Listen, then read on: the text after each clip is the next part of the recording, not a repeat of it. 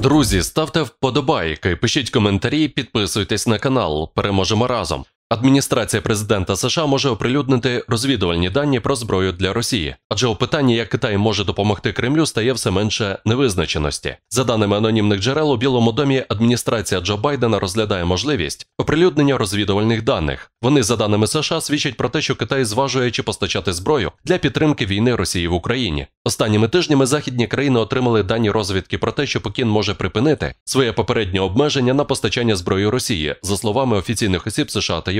Хоча видається, що Китай ще не ухвалив остаточного рішення, зауважує видання. Також зазначає, що обговорення питання публічного розкриття інформації про потенційні плани Китаю відбувається напередодні засідання Радбезу ООН. Останнє присвятять якраз роковинам повномасштабного вторгнення Росії в Україну. Що відомо про ймовірні плани Китаю щодо зброї. 19 лютого держсекретар США Ентоні Блінкен заявив, що стурбований тим, що Китай розглядає можливість посилення свого партнерства з Москвою. Це можливо шляхом надання російським військовим летальної підтримки.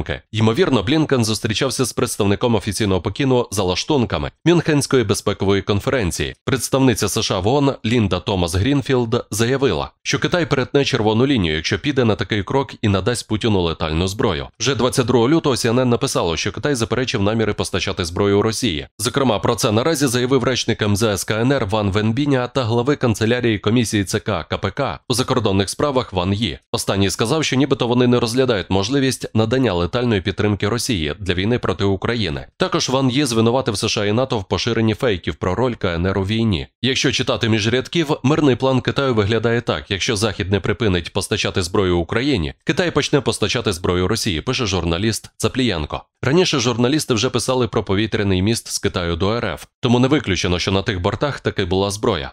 До зустрічі, друзі. Ставте вподобайки, пишіть коментарі, підписуйтесь на канал. Переможемо разом.